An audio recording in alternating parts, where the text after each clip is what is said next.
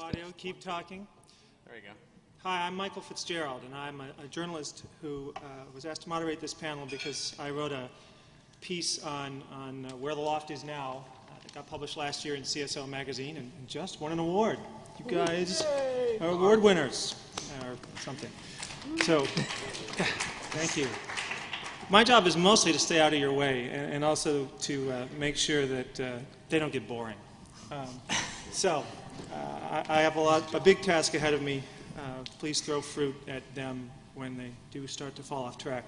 Um, but basically, what we're going to do here is we're going to, we're going to talk for an hour about issues that uh, you know have emerged from, from the days that the L0pht was being formed uh, in the security field, and we'll talk a bit about where they are. And we're going to have them start by uh, each of them is going to introduce himself. They are going to uh, talk about you know what their handle was, whether they're still using the handle now, uh, why they picked the handle, whether they're still using it now, uh, and what they're doing today. They have two minutes to introduce themselves. They can all take a drink if they succeed in, in keeping it under two minutes, except Mudge, who can only drink if he does not exceed two minutes. okay, so take it away, guys.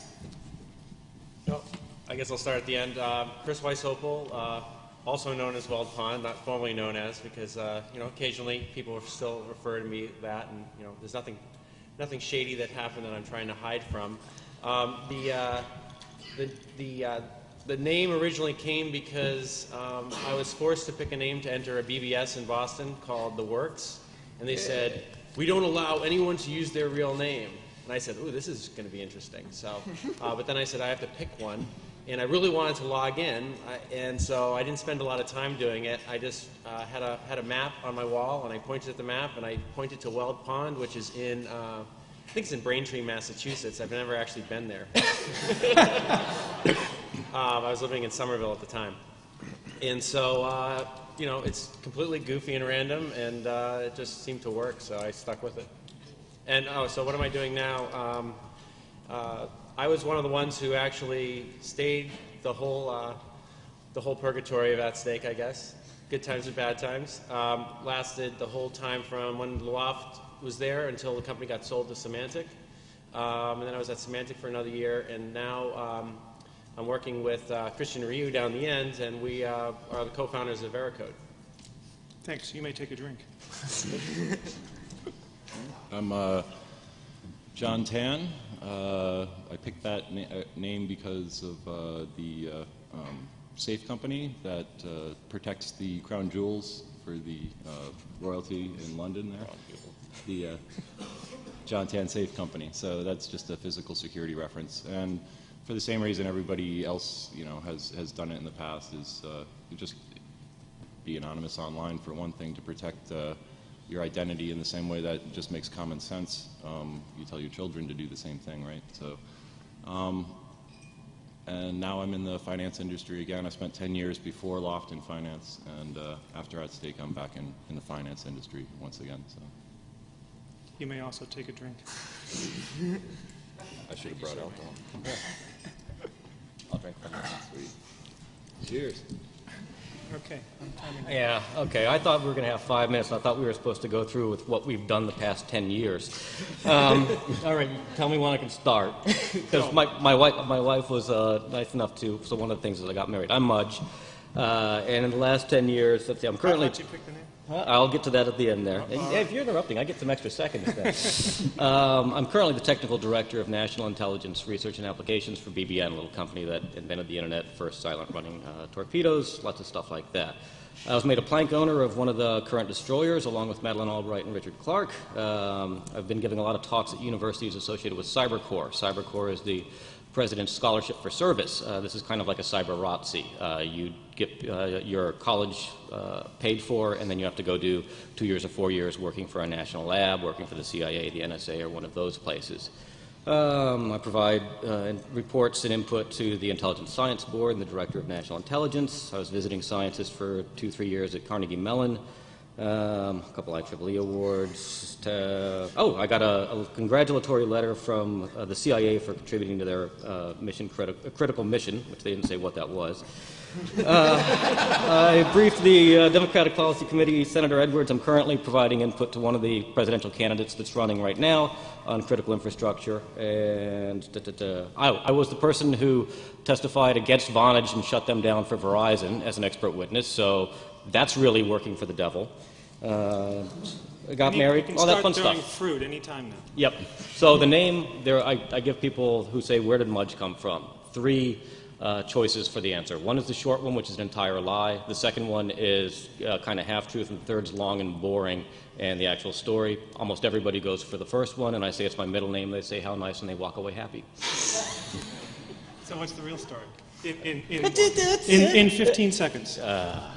I didn't like somebody whose last name was Mudge, and I figured if I was going to get busted, they'd go to his house first. You may take a drink. Thank you. Space Rogue. Hi, I'm Space Rogue. I'm probably, I think I'm the only one left who still uses their handle uh, exclusively, at least at HackerCons and stuff. Uh, I do that because, not because of uh, trying to hide anything or um, anything bad that happened, but it's, it's more of a perception thing for me. I can't really put Space Rogue down on my resume and expect people to sort of take me seriously or not try to do some Google searches. And despite the the perception of, of the word hacker and whatnot in this room, it's still very different out in the real world. And so when I'm trying to apply for a position as an IT manager and people see weird things on the resume or they do a Google search on my real name, I prefer they didn't link the two together. In some cases, it's, it would be a benefit, but I think in most cases it would actually still be a detriment, unfortunately. So while I still need to remain employed and pay my mortgage, uh, the handle and the real name stay separate. So right now, I'm currently working as an IT manager for a small marketing company in Somerville. Um, it's interesting to me because I basically I'm in charge of everything in the company, from the computers to the security system to the telephones. So um, it's good. It's good work. That'll make two minutes. You may take a drink. I need it. Hi, my name is Paul Nash. I used to go by the uh, handle of silicosis. Um, early on in the @stake days, it was uh, interesting going into clients. Um, I think in the beginning we started off, some of us using handles or some combination of the both. But uh, early on, it was one of those things where we were doing some really, really cool research, and the landscape and environment had really changed.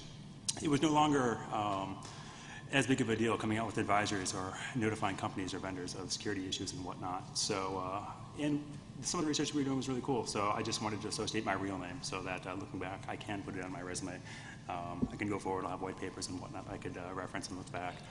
So, what am I doing today? I am actually still at Symantec. I am the only L0pht person still at Symantec. and so, uh, you know, a, a lot of people ask me, well, why are you still there? Um, everyone has left. You know, the thing is, it's actually a really cool environment. Uh, Symantec obviously is a multi-billion dollar organization, and that gives us great aperture into larger organizations and whatnot. So just being able to advise CSOs for uh, Fortune 50, Fortune 10, Fortune 100 companies, I mean, we're all over the board. And so I think Symantec really gives us the opportunity to go in there and actually starve, solve hard problems. It's uh, the L0pht was um, it was a lot of fun it was very interesting, but we were very uh, tightly focused on technology and whatnot. And security is a hard thing to solve, especially when you have 250,000 employees or uh, tens of thousands of systems and whatnot. So I think that uh, it's just an interesting problem, and I like to solve problems. So, and, so why silicosis? Oh, that, yeah, silicosis. It's a black lung. It's a coal miner's disease, which I found out after choosing the handle. the, um, yeah, but the origination, back in uh, when I was in fourth grade, I read a short story that had uh, silicosis as one of the characters in there. It was just a, it was a really cool sounding name, and so it just stuck with me over time. So that when I was getting into the scene doing research and whatnot, it just uh, I gravitated back towards that. One of the few L0pht members who never smoked, also. Yeah, exactly. Uh, I forgot, Chris, what, what, or Space Rogue. Why Space Rogue? Um, there's actually there's a game that's called Space Rogue that I didn't know about when I picked the handle. Uh, it, it just came about from Free Word Association when I first. I think it was the Works board that I first signed into that required a handle, and uh, I was sitting there at the prompt like, what the hell is my name going to be? And I just sat there for five minutes and did basically Free Word Association, and that's what I came up with. And then I found out there's some stupid cheesy game called Space Rider. Wasn't wasn't it also a John Brunner uh, Shockwave No, Rider no, thing? no. Shockwave Rider is my other handle, uh, Sandy Haflinger. Oh, right, right, He's the main character in Shockwave Rider by John Brunner, which if Great you've book. never read, I highly recommend. Uh, he talks about the worldwide internet like you know 20 years ago. So. Weren't you also known as a Space Rouge occasionally? No, that comes out because of Space Phonics, which is where Space Rouge comes from. So that's a whole other topic another topic. So we'll save that for later. You can take another drink. I can take next one. Dill. All right, Dill. I go by. I've gone by Dill, Dill Dog, a bunch of other Dildo G. uns, uns, unsa- unsavory names. Um, I guess. Uh, yeah, I, I don't really use a handle anymore. I've mostly been in a cave writing code for the last few years. Uh, I did uh, a lot of work uh, over the course of years uh, at @stake and now at Veracode on uh, decompilation technologies, making sort of the theoretically possible uh, decompilation process actually tractable for um, you know analyzing large binaries. Um, the uh, the name Dildog. I actually want, I pick, I wanted to pick something that sounded Dirty. well, not unoffensive. I guess that's not the word I was looking for. I don't know. I'd seen a lot of handles like names like Evil Super Killer or Lord Digital or some other thing that was just too, like maybe pretentious. I wanted to have something that was approachable. So I picked the name without quite realizing that it needed a, the, the hyphen in the right place. you know, it's like it's like the experts exchange. You know, if you take the hyphen out, Yeah. Anyway. Um, but uh, yeah, so uh, the Dildog name is actually the uh, uh, the name of the Dogbert character from the Dilbert comic strip before it was syndicated. Uh, Scott Adams had named all the characters Dilbert, Dill Dog, Dill Cat, Dill, etc. And uh, the editors wouldn't let him print it.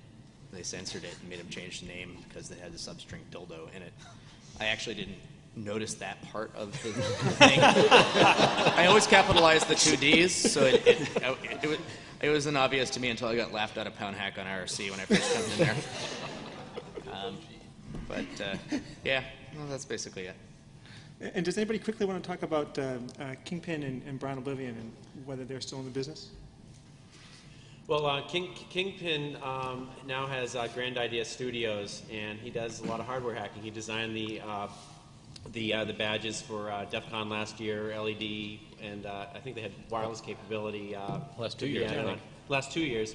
So uh, he's uh, he's on the board of advisors for uh, Make Magazine, um, and uh, now as as Mudge was saying, he, he's uh, working on a documentary, much like the the Monster Garage type uh, shows, where uh, people are basically doing hardware hacking. It's a do-it-yourself show, isn't it? I mean, like a Yeah. regular thing on uh, Discovery Channel or something?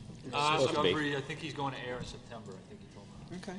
So look And uh. Brian, um, as far as I know, is working um, on wireless systems, um, secure military wireless systems. I just I just saw him uh, Okay. four days ago. Uh, he was actually up in uh, Boston for one day. He had to come into BBN. Uh, we used some of the boards that they were doing. So he's yep out there doing his hardware and wireless stuff. All right, so let's get into the meat of this. What's this uh, taking down the internet in 30 minutes comment? Where did it come from? Did you ever really try it? Well, it came from me, unfortunately, um, and it was uh, something that the media uh, keyed in on during our Senate testimony in 1998. And what we were talking about was uh, BGP, well, were BGP attacks against the national access points or metropolitan area ethers, which are the major uh, kind of muxes for um, long haul uh, intercarrier exchange of information. Uh, it was entirely possible to do. Uh, actually, uh, the L0pht uh, web server sat on a cable being pulled out of MAE East, so anybody could actually get there, and nobody had BGP filters in place at the time. Uh, even with the current best practices of BGP, um, they don't have the protective mechanisms in place for it. The, uh, it, it actually did happen a few times as well, just accidentally, where people basically black hole the entire internet um, uh, by publishing bogus routes accidentally. And anything you can do accidentally just through you know sloppy work, you can intentionally do. Uh, this would keep it down. It went down for a couple hours here or there. Case in point, YouTube and Pakistan. Oh, you, yeah, very similar one just happened with YouTube in Pakistan. You can take countries off pretty easily. Uh, what's happened? What's happened? Yeah, well, Estonia's a bit different. Uh, what, what, what's happened since then is that we've gone to a lot of private peering agreements uh, with places, and there are a lot more internet exchange points or internet peering points. So uh, rather than 30 minutes, it would probably take about two and a half to three hours to do now. And this, this is all the actual engagement. There's still a fair amount of setup to get your stuff in place as there was before. But so- that's what that was. So does the fact that it hasn't happened, does that mean that, that hackers have become beneficent over time? Or, or why, why, why haven't we seen one of these, these, you know, I guess, total outages You of the internet? You can't conduct a cyber campaign and go after a target if you've taken out your means of the campaign. All right? Somebody's been spending too much time with the feds. I think, you know, the, the trend we're seeing overall is as soon as things move from, you know, vanity and bragging rights to criminal activity, um, which is we're seeing with a trend with malicious code over time, um, we're seeing um, wide-scale destruction um, go against the aims and of the people that have the capabilities to, you know, cause harm on the internet. They don't want wide-scale destruction. They want targeted attacks, even if those targeted attacks are, you know, 50,000 CEOs or 50,000 machine, uh, machines. It's still under the radar. It isn't something where the whole internet jumps up and says, "Oh my God, we got to solve this problem," which is what happened with things like Code Red. Um, it's under the radar. No one's really noticing it, and it's a, it's a really, it's a, it's a problem. It's something that. Um, you know, I don't think we have the, uh, the means to deal with these um, under the radar types of attacks that are going on. Do you want to make the analogy that Dan did in his speech about the symbiotic relationship?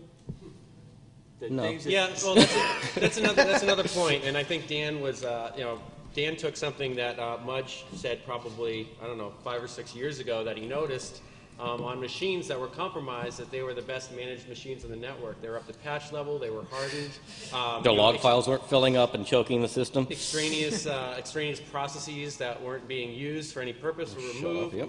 So and uh, so Dan made this analogy from the medical analogy from going from you know um, basically uh, you know virus to parasite, which a parasite wants to have the host live, to symbiotic, where the symbiote actually wants the host to get better. And so I think that that's a great analogy on the machine level, but we're seeing that on the internet level with things like you know like the storm bots and things like that. It doesn't want to harm the, your productivity. It wants it wants your network to run well. So maybe we'll have you know the storm bots actually making uh, the pipes run better. Who knows? Well, an, an, another thing that, that we're seeing is we don't, we're having attacks that are coming out that are able to actually target geographic areas. When we saw the, the distributed denial of service attack against the major root name servers that provided .org and .mil, and it only took them out in particular geographic areas, this is because they've started using something called Anycast uh, for uh, responses for DNS requests. So within a particular area, you're always going to, you think the same IP address, but that's a locally pushed out responder to you. So now, if, I mean, if you could do this with BGP, which you can, you can take off particular autonomous systems, you can take off particular organizational uh, areas, uh, but even in the, the distributed denial of service with some of the defensive mechanisms they've put in, you're able to say, I want to take this particular region off the net and keep them off the net, and that still enables me to use the rest of the net's resources or the components that I want. This is a much more devastating attack. So, so are we safer or not as safe as we were 10 years ago when you guys were in front of Congress talking? Uh, Well, talking we're more the dependent, and the security hasn't, hasn't improved much, so I guess that, by definition, means we're less safe. Anybody else have a I think, I think education has improved about security vulnerabilities significantly. Um, uh, the fact that a lot of the attacks um, are becoming automated has scared the pants off of people enough that I think that we realize that the defenses have to become automated too. Otherwise, we'll never keep up. Yeah, but your, your So- education level varies depending on your audience. Yeah, I mean, clearly. your audience is probably, your education level is probably pretty high. Well, My I- audience, my edu- they need the- There's one. There's the people who consume code and people who write it. Um, you know, if you don't write bugs as much, then there's less problems to exploit. You know, this may be just a simple linear factor. There may be always configuration issues. Um, you know, there's always a human element, and we do have to find ways of dealing with that. And, and, to harken back to Dan Geer's speech again, you know, some of these problems may not get solved until control is wrested from the user of the machine um, and placed in the hands of somebody who actually knows what they're doing. Now, that doesn't necessarily mean that, you know, uh, you know, people should not be allowed to use their computers or that somebody should be controlling it or monitoring it, but that security and, you know, uh, may, may become dependent on a certain amount of um, centralization in terms of management of, you know, the things that are vulnerable. That's, it's a thought. I also think that uh, to some degree we are a lot better. I mean, if you look back, I mean, back in '98, not many companies had security contacts and whatnot. They had no internal process and procedures around receiving vulnerability information, and I think that's really changed from an operational standpoint. I think uh, companies, I, I mean, some companies may be better off than others, but uh, for those that are controlling some critical assets or have uh, some very valuable information and whatnot, they have a lot of the process and procedures in place to actually handle the incidents. Because I mean, it's there's always going to be zero days out there. There are always going to be vulnerabilities and exploits and whatnot. But you really need to have the strong process and procedures on the back end to know what to do and how to correctly handle that situation. And I think that if you, uh, I think there's a huge uh, increase. Um, and uh, maturity around that over the last 10 years. I mean, I, I think that there's still more work that needs to be done, but I think that we're better off from 98. Except for the utility sectors, because SCADA and DCS is just an abomination. Not skater Well, it's, it's, it's funny. I mean, there's, it's been making the news uh, recently, and this was something that the L0pht had an article that was in the New York Times around the time that we had, uh, were, had testified to the Senate that we could shut the internet down in 30 minutes. And I said, I can get into the, you know, the plant control and plant information networks of 30 uh, utility grids that actually have nuclear generators on them. Yeah, like core Uh, goes up, core no- goes down. Nobody cared. Core goes up. you know. And so now, now we're, you know, it's finally coming up there, but we've moved from these dedicated systems to Microsoft boxes talking Modbus and WorldFips uh, on their on their serial networks, and the stacks alone won't hand uh, uh, for these systems won't stand up to like an Nmap scan. But we're spending billions of dollars and maybe tens of billions of dollars in, in certainly the, the corporate community, uh, corporate world on, on security uh, you know, methodologies, on products, on you know consultants. Uh, you know, uh, you're, you're kind of saying, sounds like you're kind of saying that at least in some sectors of the economy, it, it's irrelevant or it, it hasn't hasn't made a bit of difference. Yeah, out of sight, out of mind. Anybody else? wanna Well, you look at the, the banking industry, right? And um, I, I see a lot of things that in bef- before I was with L0pht, um, the banking industry was in one state, and I think definitely the maturity has, has risen, and that you don't have to prove that a buffer overflow is a dangerous thing anymore. Good point. Now that now it's more like quality assurance. It's it's like you have to go and clean everything up. We just want a laundry list of everything that's out there, and we believe it. So the maturity has definitely gone up. But then, uh, by the same token, now um, they want to push out new stuff like mobile banking. So you've got all these new territories that are just as bad as the old one used to be, and maybe they've cleaned up a little bit on the back end. In, in the case of finance, for instance. But Yeah. So, so at least in some places, the money's the money's paying off. Na- Nasdaq's in backup is still and then- but they'll grow a new area that they Yeah. that it's just weak. But, but they're still missing certain things, like NASDAQ uh, in New York, their backup site is within 15 miles, Oh, absolutely. Yeah. which is just ridiculous if you're talking about a natural catastrophe or a targeted, you know, hit. So we got vulnerabilities all over the place, even now. But you guys, you know, spent really almost a full decade during the '90s trying to address these, you know, call attention to vulnerabilities, things like that. I mean, yeah, are, are, are, did it did it did the way that you go about it did it did it help? Is it you know can can you look at the sort of the, the full disclosure wars and sort of say yeah that that worked or maybe we should have gone in a different direction? Well, it created an industry that really wasn't there before, um, if, if nothing else than the selling of exploits to certain organizations. But I think, and Marcus Ranum will always argue the opposite, and this was in something recently, uh, that we did make a big difference. Uh, uh, if you look at Microsoft and their response, we helped them out tremendously by rattling their cage, kicking the hornet's nest, as it were. Uh, Intel, as uh, uh, Silicosis was just mentioning, uh, they didn't have a security responder until uh, we came up with their crypto box, the, the vulnerabilities in that. People started realizing that if they weren't going to be responsive to the um, uh, to problems that we were bringing up, you know, we'd take it public and we'd drag them through the muck. And you know, large organizations that are you know dependent upon their share values didn't want this to happen. Uh, that changed pretty quickly as people realized, because we got a lot of notoriety and, and publicity off of a lot of the vulnerabilities that I and others uh, published. But and I think a lot of other people who got into the field did it for self-serving, you know, trying to boost their own reputation, their ego. Ours was really, look, these vendors are not listening. The only thing we can do is publicly flog them until they respond. And now, the, now the vendors do respond, and people are still trying to publicly flog them. It's like, no, no, no, we have to, you know, step up to the next level to try and help elevate. I have a Yeah, I think some people kind of misunderstood, like, you know, the goal of vulnerability research. It's not like we're going to find all the vulnerabilities in the product and tell the vendor. It's just like we're going to point out the most egregious ones, and the vendor's going to have to then go in and change the way they build software. So, you know, it's, you can't have an external QA process. You actually have to build the software the correct way. And all we were doing is pointing out that they, that they weren't doing it. You know, vulnerability research itself isn't the solution. The vendors had to respond, and, you know, the vendors that have, you know, do have uh, substantially better code. Yeah. But, you know, ever, the way I look at it is people only start writing better code once they get picked on. And they start getting picked on once they get enough market share.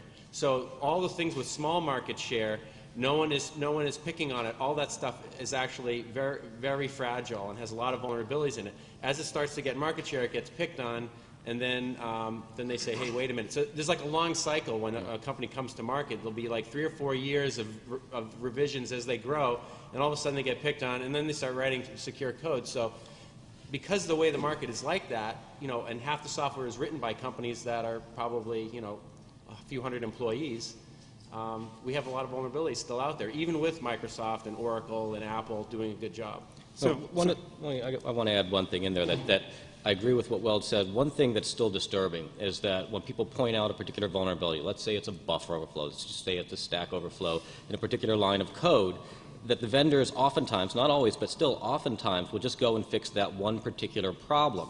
And what you're really trying to point out is you are making this particular type of mistake. You need to go back and fix all of those areas, and instead they just say, oh, this is what you found, we will fix that, rather than learning from it and actually saying, oh, any place where we have an unbounded copy, we should bound this copy to prevent overflows. And that, There's a- that's disturbing. There's there's a big cost, though, to going through a product, you know, there's something as large as, you know, a Microsoft operating Sure. system or an Oracle application, and, and finding everything that's in there. I mean, Sure, it's that's a big cost. trivial. For, it's a big cost for that company, and I'll and I'll argue that it's a bigger cost for the person who gets popped by it if it's a real targeted, nasty attack.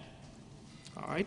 So, so is there, you know, and, well, in speaking, I wanted to go back to, you were talking about smaller companies and the fact there's still a lot of vulnerabilities out there. We saw several bug-a-day kind of episodes, uh, sort of like, you know, pick your month, we'll have a different thing, and, you know, Apple got picked on, a couple other companies got picked on. You know, was, is there still really a role for that? Did that, is that the kind of thing that you, that, that needs to happen for those companies as well? Or, as some people said at the time, was it really just kind of grandstanding on the part of the people who are doing it? Well, I think that the bug a day is a little bit of it is, is trying to um, you know focus your energy in one time, and it's, it's a little bit of a marketing spin. Um, I, I think I'm not sure that they really make any more of a difference to do that. I mean, it probably gets it in the press more, which gets their customers to know about it a little bit more. Um, but uh, I, I haven't seen anyone who's been hit with a bug a, bug a month, bug a day for a month actually change that much. Hmm. You. But, but it took a long time for Microsoft to change. I mean, you guys were, were you and others pounded on them for a long time before I they think, finally um, said, we're going to spend a billion dollars and fix this. My, my, Bill, my- when did you first um, The Tower you of Windows overflows? Send the, the IE overflow to, to the first IE overflow was when? Yeah, the I, Internet Explorer 4.0 had a overflow that I did a while back. Was uh, the Res overflow? I did a stack one. I did a heap one with the MK overflow. They, those those two came out within like a month or so of each other, and it was like 1997. And then Bill Gates came out with his memo in 2002. Yeah. Yeah. So uh, it, it took a lot of stuff to build up to get to the point where they would actually make the investment. Well, you also remember what their first response was when you know I, I took some of uh, Hobbit's work uh, on uh, what eventually became part of uh, L0phtCrack, and their first response was to try and take us out to dinner and then offer us their source code under non-disclosure agreements, which would then stop us from being able to publish any more vulnerabilities that we found. We told them we already had it. How was the dinner? That was, yeah, that was good. So, so kind of segueing from that, though, there, there, there was uh, the, the motive issue. There was a lot of controversy from certain people who are really looking to get paid for finding vulnerabilities. What, what's your take on, on whether, you know, is that, is, that, is that valid? Should people be paid for finding vulnerabilities? Well, there's a few ways of looking at that. I mean, clearly, you've got the standard consulting model, where people are paid to find vulnerabilities for a particular company and not tell anyone uh, except that company.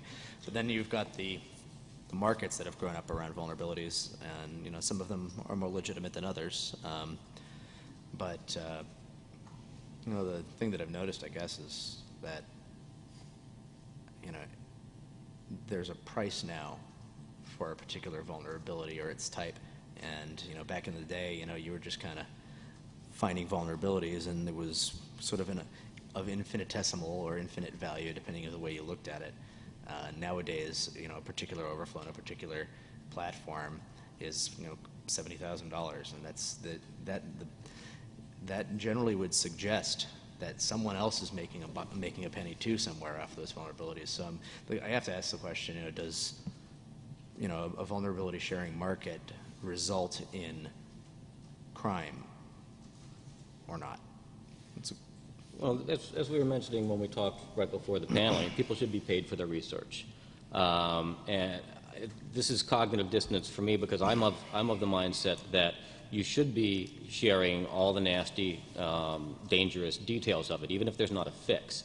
Because if people are at least aware of it, they can potentially mitigate the effectiveness of the attack, even if there's not a well, defense against that particular attack, by moving resources, changing networking, network ACLs, et cetera.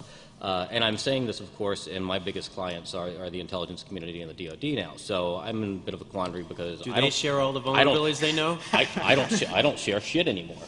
Um, uh, but that's that's an interesting tack. I mean, the reason they don't share a lot of the stuff is a lot of the stuff's offensive in nature, and a lot of the stuff is, is defensive as well. And you don't want other people to, to, to know about uh, the total capabilities that you have. And when you see the commercial sector go the same way, well, you got to kind of think that there's some of this evil scariness going on in the commercial sector that we've always been thinking about that the feds do. And that's that's a disturbing trend. Nodding of heads. Well, since we're talking money, I, I feel like I have to ask you guys, was it worth it to sell out?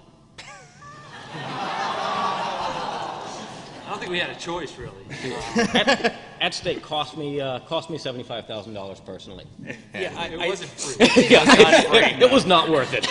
I, I think that um, you have to, you know, look at what was going on at the time. We weren't in a vacuum. This industry was becoming a professional industry. Uh, people were getting paid to, to do this kind of research, and uh, it was becoming um, security. The whole idea of security research um, was was becoming commercialized, um, whether we liked it or not. So. Um, you know, is either do, do we want to stay outside that, or do we want to contribute to it and try to make it as, as good as we can? Try Um, and lead it and help. Try to you know, lead help- it. help That's shape one the Evolve or die, Right, you know? exactly. Exactly. The, the point, the point that L0pht was at that point, prior to, the, to @stake, I mean, we would have continued on if we had ma- continued doing our same thing in the same way, but we would have eventually just died out. Uh, the L0pht as it was, I don't think was a sustainable model for any length of time beyond @stake. Yeah. If we hadn't tried to do something big, I mean, we t- made the effort. We're like, this is our shot. We're going to change the world, make a dent in the universe. Uh, it didn't, unfortunately, work out that way, but that was the goal when it started. Um, and so, was it worth it to sell out? I think we had to give it a shot. and Weld had a Weld had a great analogy a long time ago, saying like, you know, you can be the best, you know, um, garage band in the world, and the only people that are inspired or hear your message are the people that live in, you know, a couple block radius of you, and you have an option of, you know, s- trying to, you know, change the world and influence people and hopefully do good by staying as that garage band, or you can try and make some educated and, you know, and careful compromises get a promoter, and, you know, go to the big venues and try and, you know, spread. Maybe your message will be a little diluted, but at least it's still your message and you're hitting more people. And I, that gave me a lot of um, solace and, and hope, you know, that we tried to do that. I think we did change the industry in certain ways. I mean, for the first year and a half of that stake, um, we were the only ones that really were not beholden to any vendors. We wouldn't take kickbacks for recommending anybody's stuff. We paid for our own equipment that we were going to do analysis on because we wanted to follow the consumer reports model where people could actually trust what we're doing. When the bubble started to burst and people were kicking out consulting agencies, the big five at the time, were getting booted out, and they were keeping @stake because @stake was like, well, they're only thinking about our particular problem. But even then, you know, the executive team and, and the market uh, influences, eventually those morals, uh, or those directions, I should say, started to erode. Um, but it was, it was an effort. Yeah, I mean, At the time, we were a small software shop. I mean, we had L0phtCrack. we came Making out with- money in spite of ourselves. No, yeah, exactly. Uh, I think if we had more business acumen, we probably would have raised the price of L0phtCrack. but Only um, what, 50 bucks or something? Yeah, fif- 50 bucks. I think Symantec was selling it for 1500 but I Mainline don't version was know. free. I mean, we Should have gone the, the open source model and charge for support. Uh, I mean, we. Uh, I mean, we were a small product shop. We did also had consulting as well. I mean, we were doing some very cool projects with Network Flight Recorder and whatnot. Yep. But I mean, we were cobbling together systems out of garbage and whatnot, and just trying to build. I mean, like I remember sitting at a desk with like the desk came out of the garbage, so did the chair. It was just we're all cobbled together, working in a room that had no AC and 100 degree heat. But uh, we needed uh, we needed to go to the next level so we can continue the great research that we were doing. And, and, and we saw that that next level was, was available, was, was attainable. I mean, it's funny that we did a lot of this technology reclamation. I think somebody at, at the L0pht coined that might have been Weld. Dumpster diving. Yeah, dumpster diving, technology reclamation. um, and uh, at one point, I, I, was, I was doing some work. I was running training cl- classes at the NSA and, and some other things, and word got around to the National Security Council and the Executive Office of the President. So I convinced the other L0pht guys that we should allow these feds to come over to our secret establishment as a sign of goodwill so they can see that we're not a risk, you know, and we're not a threat to them. Hopefully, we'll actually even be able to call in a favor if, you know, other agencies like the FBI hated us, um, you know, got, got riled up and didn't, didn't know how to take us. And so we give, we give them a tour, and, and Richard Clarke was there at the time. This is like, what, 97, 6, something like this, around there. And they walked outside, and they all kind of like grouped together and started talking in huddled whispers. And we're watching them go, and we're like, what the hell's going on? What are, what are they whispering about? They could have gone back to a SCIF. They could have gone back to D.C., talked about this. So, you know, having enough uh, Irish courage in me at the end of that evening, I said, oh, I'm going to put an end to this. So I just go tromping over in the middle of the discussion and say, we invited you into our house. We opened up the kimono and showed you everything that we were doing. And now you're, you know, you're whispering and you're making us all nervous. You have to tell me what you were just talking about. And they all kind of stepped back and they looked at, at, at Clarke, and until that point, I don't think we had realized that he was kind of the head honcho. Uh, and uh, he said, All right, uh, I'll tell you what, what we're thinking about. The CIA and other folks have been giving us briefings saying that the, what you've shown us and what you've accomplished is only doable by funding from a foreign nation state. Uh, and and you've, you've, changed our, you've changed our threat model. And this is great. I mean, this is, it's scary, but you've really changed what we have to think about as far as, this was wonderful things. Of course, he followed up with the, so I have to ask if any foreign nation states approached you and, uh, you know, and offered, offered to pay for your services. And I said, no, but if you'd like to be the first, we're willing to entertain it. But we had that nice uh, Russian radio Yeah, oh, that Oh, showed yeah. up right next door. Yeah, right yeah, the Russian mafia right above us Right with all next their door to the L0pht, there was a, a, a, a Russian radio station next door that had a satellite uplink. We were always kind of like, what the, hell are they, what the hell are they doing in there? Yes. Yeah. Never saw anyone ever combos. go in or out. No, no. So, so, so I was curious whether, whether you think that the, the, the model that you try to do with @stake, could it work now that we're, you know, not in that kind of recession, recession era, really in the technology market, a depression almost? If you start a company, try not to tie revenue to headcount. Try, Okay. try not what? Try not to tie revenue to headcount. Yeah. Okay. All right. I, I, I don't think so. I think the thing that was accomplished, well, the thing that I take most pride of for, for @stake, which you know, there's a lot of it I'm not uh, fond of, not happy memories, was that we did influence the consulting field at the time, and we did kind of introduce the, the kind of McKinsey, Bain, high-end um, technical research, and I think that other companies like uh, Frank Heidt's organization, Leviathan, with Matt Miller, you know, skape uh, from the Metasploit uh, project and everything, are able to do now because of that foray that we that we went into. Can you do it again? No, because uh, the industry has already changed that that opening and that influence that we had. There's other areas to be influenced now. So, so um, some of you have taken the further selling out step of getting married. No way. H- how has that affected your, your hacking life? Not at all. What, what, what was what was the line? No longer client number eight. No, Sorry, honey. That could be a chilly evening for you. This is why we have this conference right now. I'm married to the director of it. So. Yeah, I think it's interesting. I mean, I'm now, uh, when I first got started doing the L0pht stuff, I was uh, single at the time. Now I'm married and I have two kids. So, you know, I just change, uh, I change focus now. And now I'm looking at my two sons, and it's a lot of, we play a lot of games and exercises and whatnot, just trying to um, inspire creative thinking and just creative problem solving. Just to uh, just to get them to think different and just come up with different approaches and whatnot, solving problems. It's not always a linear path to get from point A to B, and just trying to encourage that at a young age. I think that's, uh, in my mind, I think that's the future. Your kids are really lucky to have you as a father. I'm serious. So, so, and being a dad has been good for your hacking, it sounds like. Yeah, and actually, yeah, my uh, youngest son is actually a perfectly, uh, perfectly good fuzzer who's actually found uh, some problems just by mashing the keyboard. So uh, it's interesting. We found some interesting Mac problems. Well, well, has this been your experience? Well, um, I, I think I was the only guy who was married when I joined the L0pht. I'm the Oh, that's right. oldest, the oldest, uh, the oldest of the group. Um, Well, wasn't wasn't Count Zero Uh, and Brian- Brian- Brian Oblivion Oh, got yeah. married while he while he was at the L0pht. Wasn't it Brian Yes. Levian's wife the who one kicked you kids. guys out? Um, well, actually, uh, Bri- the way the way that we started with our space was actually Brian Oblivion's um, wife who kicked him out of. Um, she didn't. As soon as he he, he would do a lot of techni- technology reclamation, so he would be bringing you know monitors and PCs and network cabling into the house constantly.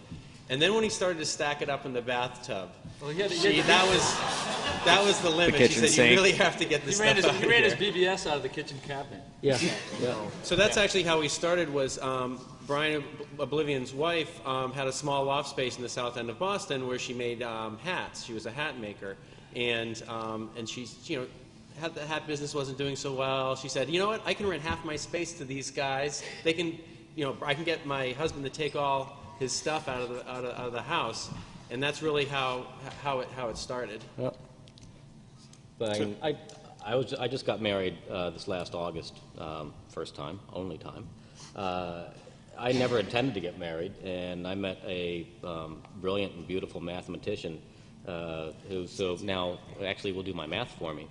Um, so it, it's it's been great. Now I can actually you know I say, honey, you know this is what I'm doing. You know, is there a, a neat math mathy way that you can represent this in an algorithm? And so you know the work just looks that much more professional. And, and, and actually, you didn't get to finish. Did you? Oh, did, sorry. did, did it help your, uh, your your hacking life to have a to have a spouse? Um, I'm not sure if it ever really helps. so, um, but I, I think she was, uh, you know, she, she, she, she was definitely motivated me to make the @stake transition. She's like, you know, you love doing this. Why don't you do this as your full time job, you know, and make a make a run at it? So. I remember picking you up when we were going over to Battery. And you're like, "Do I wear a suit?" And both your wife and I were like, "When we're asking somebody for ten million dollars, you put a fucking suit on." Yeah, she was like, I like this guy. So the, the, the uh, other thing that we, we, we sort of talked about talking about was the, the idea of you know security vendors and are they selling snake oil? Um, and you know what, do- what do you think? I mean, is, is the AV market really you know not very effective in intrusion detection, all the, the kind of areas and sectors within security? Uh, you know, there's, there's an awful lot of hype and a lot of confusion. And, As someone that works for a security vendor, um, start, started one, started one, um, selling out again. Selling out again. this time with feeling. Um, uh, yeah, I, I, you know, I think I think it all has so many promises you make. Um, you know, if you are honest about what you're delivering, if your, you know, product is transparent such that, you know, you, you know, people pay a, an honest amount for a good day's work, regardless of how you generate that, you know, be it by manpower, through automation, or through clever algorithms, or whatever your process is. You know, if the perception um, by your, you know, by a team of intelligent people who writes code, your, your customers or whatever, uh, if, uh, you know, if, if they're deriving benefit, then you have a business. And, you know, I think the snake oil products, um, we're making a lot of promises in the past. You know, we've had a, a lot of uh, things that, you know, the, the story that gets me is the is this anti-spyware products that install the spyware on your systems. You know, there's there's a certain level of, of unauthenticness that I think we are getting better at identifying now as a group, and uh, you know, the the real needs for the real for the tools that are out there, you know, are the you know are starting to bubble to the to the surface. That's the good stuff. You know, the bad stuff, uh, throw it out with the bad. You know, just you know, flush it down the drain. You know, we get a lot of products don't last if they if they build up a bad reputation. That's just the way it is. Uh, It's a good point. I mean, I think just you commented on AV and working for Symantec, so I should uh, respond to that. Um, You know, it's, it's unfortunate right now. I mean, there's tens of thousands, if not hundreds of thousands or millions of uh, viruses out there and whatnot. And so someone always say, well, you know, it's not going to detect everything. And you're absolutely right. There's always going to be these new viruses that don't have signatures written and whatnot. But the thing is, you'll catch 99.99% of the other ones out there. And so, I mean, I've been at client sites and whatnot, and we found a, a compromised system. And it's like, well, we've actually found like one of the root trojans or the binaries and whatnot. We're able to kick it back to the internal research lab where they completely reverse engineered reverse engineered it dissected it, came out with a new signature that we, we immediately flushed out. And so out of like 25,000 systems, we knew exactly how many systems were infected with it, and we could just target those and clean them up. So I mean, yeah, I, I think that there is some value in uh, antivirus software to that degree. I mean, will it prevent everything, or prevent uh, attacks uh, against every uh, um, thing out there? No, absolutely not. But it does a good job at what it does. And so uh, I think you just need to invest uh, time and have those operational procedures and whatnot to be able to properly respond to those, uh, those pointed attacks where there is no signature or it's, it's a new style attack that nobody has seen before. Well, I- there's, I- go ahead. I think the problem is, is the marketing, not the technical side. I think when you talk to the technical people at companies that have these products, they're, they're pretty honest about what their capabilities are. But what the communication to the consumer is, uh, I think McAfee's is called uh, total protection. Um, you know, it's like, no, there is no total protection. You know, you have to be honest with your customer that there is always going to be some risk. Um, and you have to be honest about, uh, and I think the, the whole industry has to start to um, say, you know, what percentage of, you know, attacks can they protect against? And exactly, you know, in the grand scheme of things, what, what they're delivering. Because unless you know what it's missing, how as a customer can you try to mitigate what it's, what it's missing? And so it's really, um, you know, all technology has limitations, and you know, I think the marketing just has to be a little more honest. Well, I've, I've got an issue. I, I, I want to chime in here on a second. Um, yeah, I agree with what's being said there, but one of the things that nobody seems to be pointing out is what sort of vulnerabilities are these solutions introducing to the systems themselves? I don't know. I can't tell you how many systems that I've broken into that I've used the port and the and the and the application that is the antivirus listening for its updates in order to compromise the system. So yes, they're protecting against certain things, but these people protecting against other vulnerabilities in code oftentimes aren't looking at the security of their own code themselves. And this is Yeah, well, I, I actually um, uh, went to a talk by um, Sinan um, from Immunity earlier, and he went through about how um, Immunity uh, penetrated a very, very secure organization. They did a, a long-term analysis of how are they going to try to get in before they got in, and they determined that the, the weakest point in the whole organization was the antivirus mail gateway. That was, that, was, that was the weak point. That was the point that you used to get in. They decided that that was what they were going to attack, and they attacked it, and guess what? They got in. And it, it's not just the antivirus stuff. Unfortunately, there was a trend for a while of doing these roll-ups of all these kind of disparate security solutions, and then trying to loosely bundle them together with some really bad glue, uh, glue logic and duct tape. And now you have all these extra moving parts and extra inflection points that, uh, as a complex system, com- complexity in the security field, you know, that's an anathema concept.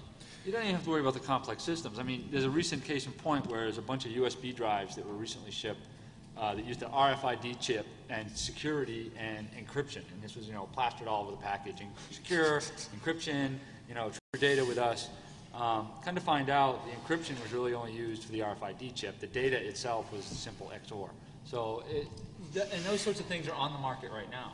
And the end user consumer has really no way of knowing, has no way to believe that packaging, and there's no rules or regulations to control it. Well, And, and, and actually, I wanted, I wanted to actually, as our two IT people on the panel are our two sort of people working in companies who are, are being sold snake oil all the time. You know, TAN and, and, and SR, can you talk a bit about whether, maybe, whether there is more realism in what companies are presenting to you, at least in, in corporate environments, uh, and, and, you know, also what it's like to look at this whole sort of security uh, industry from that perspective of the people who are, are in fact trying to stay secure?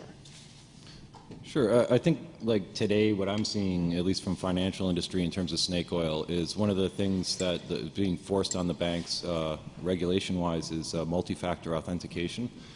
The idea there is something you have and something you know, uh, like a SecurID type solution, right? And uh, What, what they've been doing is uh, these companies have been coming up with uh, software-only multi-factor authentication, which basically means there's a JavaScript that goes and looks at, you know, profiles your computer, and that's the thing you have is this profile that's, you know, just generated through JavaScript, the same stuff you can call when you're exploiting them via cross-site scripting or, or whatever. So um, to me seemed really weird. And the reason is because there's a whole industry around this you know regulation to satisfy this need. And as long as people can just view it as like a checkbox or whatever they're going to look for they're going to look for snake oil something that's cheap something that won't break. Um, uh, their operations because it's not really doing anything And, and the auditors require that little checkbox still? oh yeah and and for some reason they have accepted it to date so that's that to me is where the, the snake oil is today i think that i've seen How do you explain that to sort of, you know, the, your management, people who aren't technical, who are just saying, well, we gotta, we gotta, this is a Don't- problem, we gotta solve it? Don't implement your own crypto, period.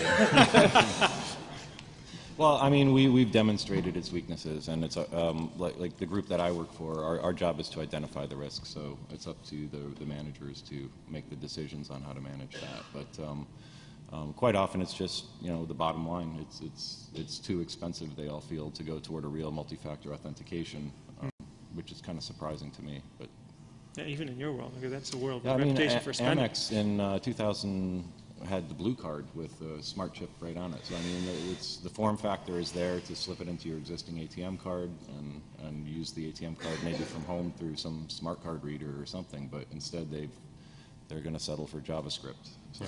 Wouldn't, wouldn't it be nice if they had to do, dif- do differential power analysis to get the secrets off rather than just, you know, popping some cross-site scripting on some sort of message board? That would be nice. So- And and that's how you're in a smaller company, so you- Yeah, you're I'm in a smaller probably- company, and I get people trying to sell me stuff all the time, but uh, the one thing I notice now that, I- that probably different from 10 years ago is that when you read the product literature, you always see the word security. There's usually a paragraph on the back page that says, "Oh, secure. We use this, you know, this encryption and this many bits, and we do this and that." And it, it's all buzzword stuff. And as a consumer, as an end user, as a purchaser of this stuff, I have no idea what the hell is in it. I mean, yeah, so they're using 256-bit AES. What the hell does that mean? What, it, what part of the product are they using that in? How is they implementing it? Is it really as secure as they're claiming? I have nowhere to go to verify their claims. I, there, there's no rules that they have to say what their stuff is or what it does. Um, so while I think it's, it's, it's more, people are more aware of security now, um, especially in the marketing departments, uh, I don't think the education level of the people purchasing this stuff is high enough to know exactly what it is they're buying. Well, you're, you're, no you're you're saying that, that the vendors are basically putting the new and improved label on Right, it, and you don't know exactly. it's new or improved. So we're, we're almost out of time here. I wanted to ask a question and then open it, to, open it up a little bit to the audience. Um, so the last question is, is what makes you scared as hell?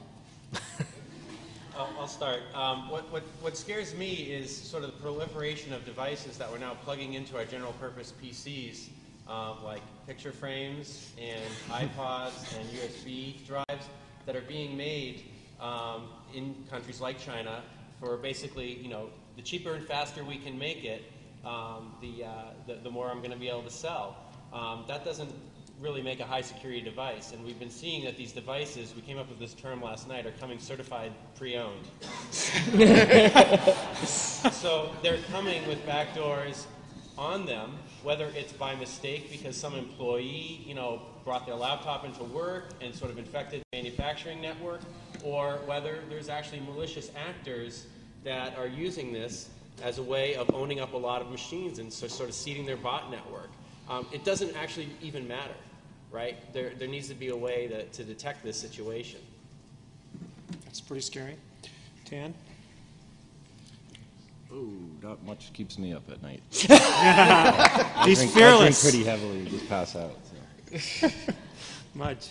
um, current administration and having to get onto a panel with the other L0pht guys after We- we- we didn't 10 you up. years, given all the pain that we went through and put each other through during certain parts of that steak. Yeah, don't remind us. SR, what scares the hell out of you? James Atkinson. I don't want to be anywhere near that guy. Paul? Um, I think uh, I think uh, some of the trends with uh, virtualization is uh, kind of scary. When you before you'd have uh, 200 physical systems, and um, they'd be all running on uh, separate uh, separate segmented networks and whatnot. But you're seeing uh, now clients actually want to take those 200 systems and they want to condense them down onto one or two systems. And so now you have these massive systems with multiple like terabytes of data, or terabytes of memory, terabytes of uh, drive space and whatnot. And it has like maybe 16 network interfaces, but those are virtually mapped across 200 different systems. So just from a security standpoint, it gets very, very interesting. Um, I, I think there's a lot of research that's being uh, performed right now on that, and I think that's going to be the future. As companies are trying to cut back costs and whatnot and move towards these virtual systems, I think uh, it's going to be a new, uh, new paradigm for uh, security and whatnot. A lot of new uh, areas of interesting uh, research and uh, potential attacks. Christien? Um, embedded systems, uh, Here, here. things that are getting hooked up to the internet. Um, you know, I, I shuddered when I realized that, you know, uh, after seeing like eight vulnerabilities in libtiff over the last two months, that class three fax is libtiff. Okay, you know, you send a fax, it's sending it as TIFF, and you know that those low-level drivers are going to be shared all over the place and based on some old TIFF reading code. You got multifunction devices that are bridging the fax network, the phone lines with your internal LAN. You know, you got your printer, fax, scanner, multifunction device. Those things are, you know, I, you know, opening up all kinds of you know complexity. You know, I, I noticed that my DVD player has its own CPU on it, and that CPU has its uh, you know firmware that can be downloaded to it by the BIOS or by any other you know thing that happens to get in early enough. Um, you know, Ethernet cards are updatable. You know, just the, the thought of if somebody going through and trojaning a whole bunch of Ethernet cards and selling them at the flea market is a little scary. Um, you know, so I mean, there's a whole lot of stuff out there that's now, you know, not burned into ROM, but is upgradable, and software that's running in weird little places on CPUs that you know didn't used to, you know, have its own, you know, memory CPU and bus on itself. So that's that stuff is really interesting. Thanks, guys. Um, do we have time to have a couple questions from the audience? Is that okay? Check, check, Check, check. This is mostly for Tan, though I think uh, Weld will probably want to weigh in too. Where is the underwriter's laboratory for software, and will we see one in our lifetimes? Well, I could answer, but Tan actually wrote the paper in '98 uh, and really came up with the uh, the original concept because he was looking at the way that other security products pre-software were certified, and with things like uh, uh, safes and, and um, other security devices, you had an independent certification of its capability and a rating, or they couldn't sell it, right? But today, we buy software devices, security products, and we have absolutely no idea whether the stuff really works or not. And, and it wasn't that it was a, a rating of it's safe. It was like the original Underwriters Lab saying it only takes it takes X amount of time before the integrity. Go for it, Dan. I, I just I just think that uh, it hasn't come about because there hasn't really been a, a credible entity that's jumped on it. Like maybe someone like the post office or someone that's kind of removed from things would be uh, anyone that could be a notary public or something like that could have you know run this as a as a program uh, from a brand name perspective. Um, so I, I don't know if Veracode is looking at doing At, that. at Veracode, we, we do have uh, ratings that we can we can rate software. It's not sort of our main business is doing ratings, but we can produce one if someone sends us software uh, from a vulnerability perspective, not from a does, it functionally work. There is one organization which does have that brand, which is getting into this, which is Moody's, and Moody's is coming out with operational risk ratings, and they, they will um, you know they have a process of certifying your your uh, your organization at the organization level.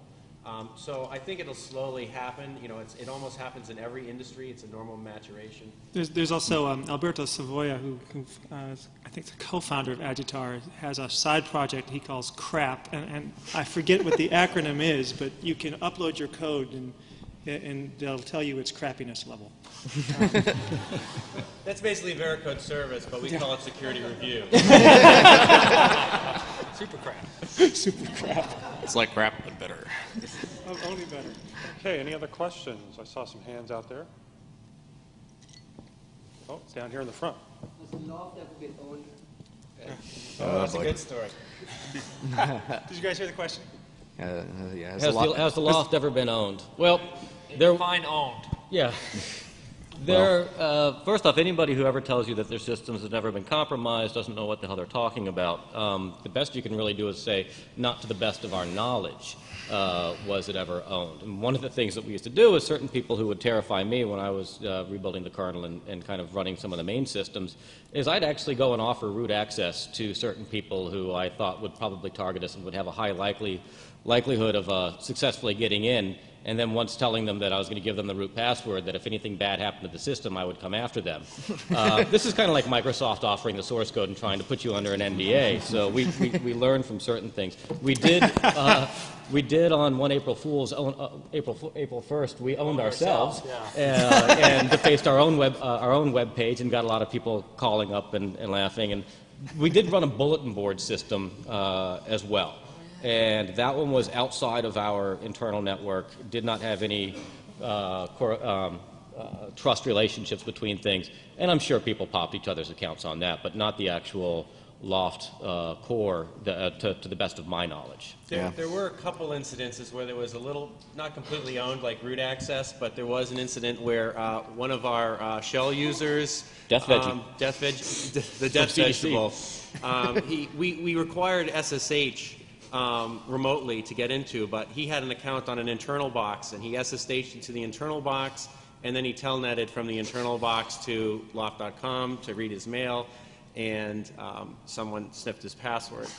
Um, Then um, there was an incident where uh, there was a widespread SSH attack going on, and, Yep. uh, but uh, we were running L0pht.com on an, uh, an alpha box, Uh-huh. and no one had written shellcode for alpha. Uh, by, so we got hit An with alpha- that, and it just crashed. An alpha box running OpenBSD. So you know, using weird architectures on your on your on your uh, internet-facing machines is definitely beneficial. And, and, and the, uh, the fact that we actually had a thirty or fifty thousand dollar, because they were tough to come by, SunScreen that was kind of a prototype one, non-addressable interfaces, uh, when Sun Microsystems was still putting it together, and it was a really cool, really well done uh, system that nobody had really seen. This was prior to like the whole firewall ones and everything else. It's a firewall that uh, runs runs completely off of a CD, so you have to burn a new copy of the CD every time that you want to change the configuration. But it basically kind of makes it very difficult to. And, and it didn't have any addressable interfaces. Yeah, so you, there was no it was there was no IP address. It was all Ethernet, and it did its own stack translation and all that stuff. It was a bridge. The bridge. But good question. Okay, any other good questions? Do any Nobody of wants you to know have, about Mudge in the dress? No? Oh, yeah, do, do any of you have any It's not that- contact info you'd like to give out for the internet viewers, or? is the Well, we we, uh, we don't have the L0pht.com address anymore because it's owned by Symantec. Uh, but They we own have, a lot of domains. We have LOPHT.com, which uh, Space Rogue runs. So It's Which one everybody page, used to It's miss- got a picture and some links and an email address. So if you need to get a hold of anybody, you can send it to the, whatever the email address is on the lopht.com site, and I'll route it to whoever you want it to go to. Okay, without any further questions, I want to thank you guys again for being here. For further information on, for further information on the internet, visit And a big thanks to Stacy for putting the whole thing on. Thanks, Stacy. Yeah. And also, don't forget, we do have DVDs of presentations. If anybody's interested, uh, they're right outside the door, 20 apiece or uh, 10 for 100. Thank you, everybody.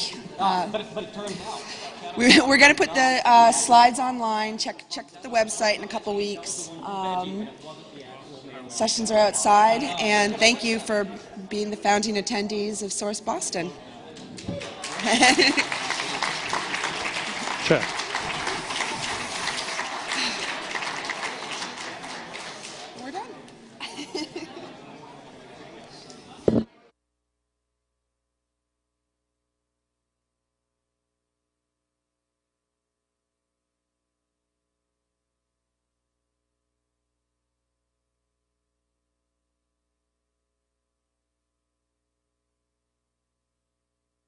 Safe company that uh, protects the crown jewels for the uh, royalty in London there.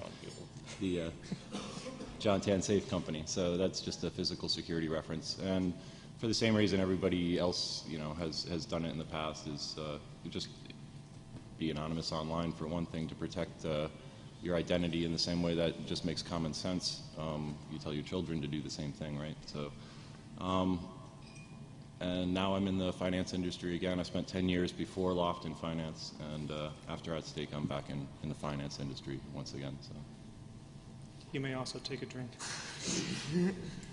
I should have brought alcohol. I'll drink from that. Sweet. Cheers. Okay, I'm timing. Yeah, okay. I thought we were going to have five minutes. and I thought we were supposed to go through with what we've done the past 10 years. Um, all right, tell me when I can start. Because my, my, wife, my wife was uh, nice enough to, so one of the things is I got married. I'm Mudge. Uh, and in the last 10 years, let's see, I'm currently. let you pick the name. I'll get to that at the end there. If you're interrupting, I get some extra seconds then. um, I'm currently the technical director of national intelligence research and applications for BBN, a little company that invented the internet, first silent running uh, torpedoes, lots of stuff like that. I was made a plank owner of one of the current destroyers, along with Madeleine Albright and Richard Clarke. Um, I've been giving a lot of talks at universities associated with CyberCorps. CyberCorps is the President's Scholarship for Service. Uh, this is kind of like a cyber ROTC. Uh, you get uh, your college uh, paid for, and then you have to go do two years or four years working for a national lab, working for the CIA, the NSA, or one of those places.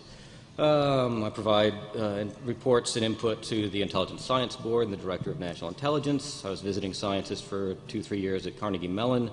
Um, a couple IEEE awards. To, oh, I got a, a congratulatory letter from uh, the CIA for contributing to their uh, mission criti- uh, critical mission, which they didn't say what that was.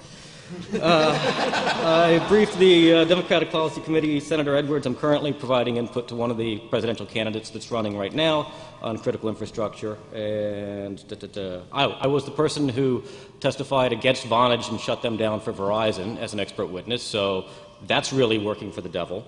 Uh, got You married, You can all that start fun stuff. fruit anytime now. Yep. So the name, there, I, I give people who say, where did Mudge come from? Three uh, choices for the answer. One is the short one, which is an entire lie. The second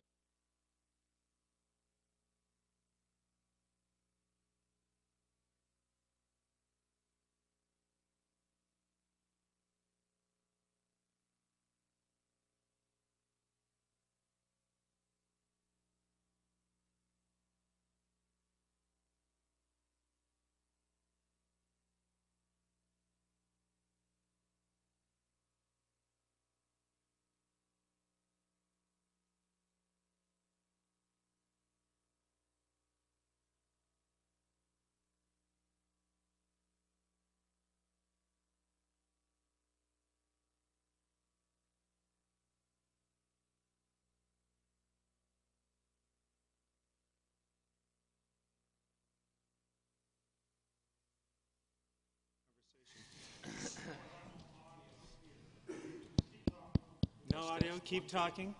There you go. Hi, I'm Michael Fitzgerald, and I'm a, a journalist who uh, was asked to moderate this panel because I wrote a piece on, on uh, where the L0pht is now. Uh, it got published last year in CSO magazine and, and just won an award. You guys are award winners, or something. So, thank you. My job is mostly to stay out of your way and, and also to uh, make sure that uh, they don't get boring. Um, so, I, I have a lot, a big task ahead of me. Uh, please throw fruit at them when they do start to fall off track. Um, but basically, what we're going to do here is we're going to we're going to talk for an hour about issues that uh, you know have emerged from from the days that the L0pht was being formed uh, in the security field, and we'll talk a bit about where they are. And we're going to have them start by uh, each of them is going to introduce himself. They're going to uh, talk about, you know, what their handle was, whether they're still using the handle now, uh, why they picked the handle, whether they're still using it now, uh, and what they're doing today. They have two minutes to introduce themselves. They can all take a drink if they succeed in, in keeping it under two minutes, except Mudge, who can only drink if he does not exceed two minutes. okay, so take it away, guys. Well, I guess I'll start at the end. Uh, Chris Wysopal, uh, also known as Weld Pond, not formally known as, because uh, you know occasionally people still refer to me that, and you know there's nothing, nothing shady that happened that I'm trying to hide from. Um, the, uh, the the uh, the name originally came because um, I was forced to pick a name to enter a BBS in Boston called The Works, and they said we don't allow anyone to use their real name. And I said, "Ooh, this is going to be interesting." So, uh, but then I said I have to pick one, and I really wanted to log in, I- and so I didn't spend a lot of time doing it. I just uh, had a had a map on my wall, and I pointed at the map, and I pointed to Weld Pond, which is in uh, I think it's in Braintree, Massachusetts. I've never actually been there. um, I was living in Somerville at the time, and so uh, you know it's completely goofy and random, and uh, it just seemed to work, so I stuck with it. And oh, so what am I doing now? Um, uh, I was one of the ones who actually stayed the whole uh, the whole purgatory of @stake, I guess. Good times and bad times. Um, lasted the whole time from when L0pht was there until the company got sold to Symantec. Um, and then I was at Symantec for another year, and now um, I'm working with uh, Christien Rioux down the end, and we uh, are the co-founders of Veracode. Thanks. You may take a drink. I'm uh, John Tan. Uh, I picked that na- uh, name because of uh, the uh, um,